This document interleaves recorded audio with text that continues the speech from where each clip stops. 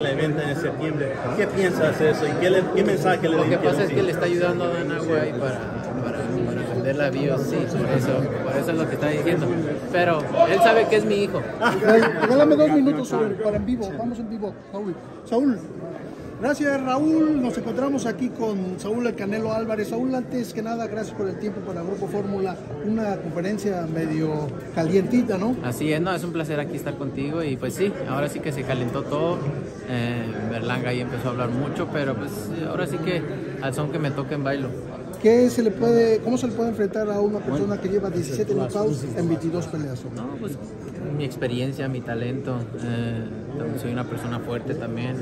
Todo va a salir a relucir el, el- el día, día- el día 14. Marco Verde va a buscar la, la medalla de oro. Así es, muy contento, muy orgulloso de Marco Verde. Sé que va a ganar la medalla de oro y me siento muy orgulloso de, de- de. Gracias, Saúl. Gracias. Canelo, you Pues were uh, really close up there to him. Uh, Enrique. what did his breath smell like?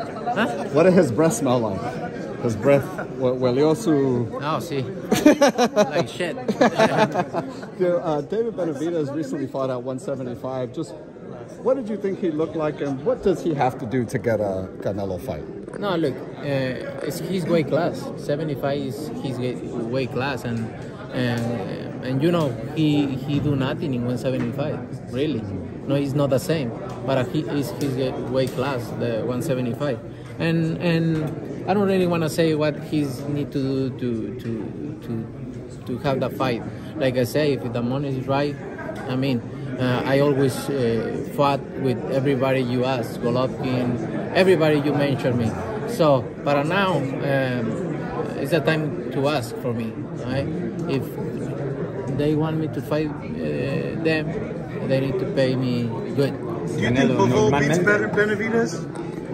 Uh, like we see uh, Benavidez the last fight, yes.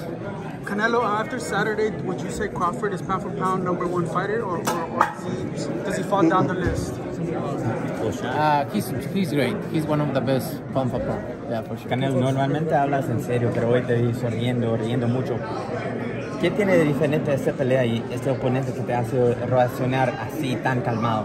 No, pues obviamente eh, mi seguridad, ¿no? De lo, sé lo que soy como peleador, sé lo que he hecho y, y al final de cuentas pues eh, no es nada nuevo para mí. Gracias.